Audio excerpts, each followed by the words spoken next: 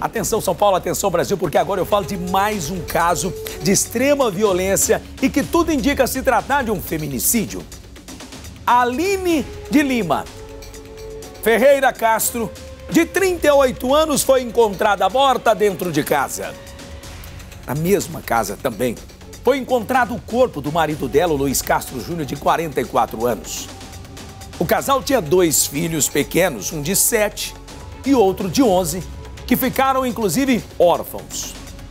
Essa família foi para os Estados Unidos em busca de uma vida nova, uma vida melhor.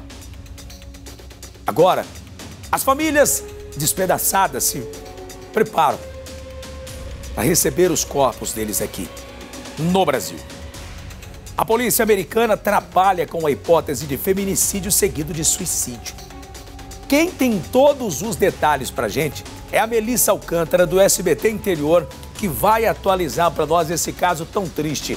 Ô Melissa, bom dia, bem-vinda ao nosso programa.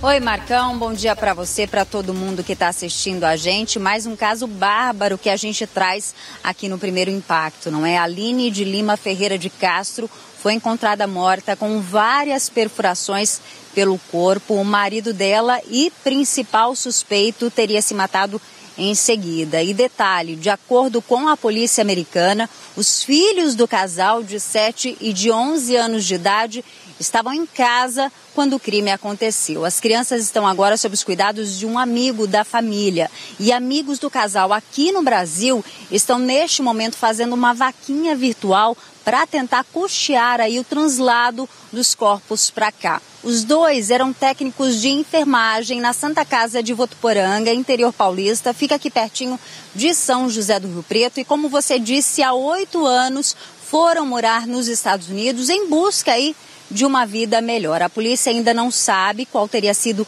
a motivação para esse crime, mas trabalha aí com a hipótese de mais um caso de feminicídio. Itamaraty acompanha toda essa história. Marcão.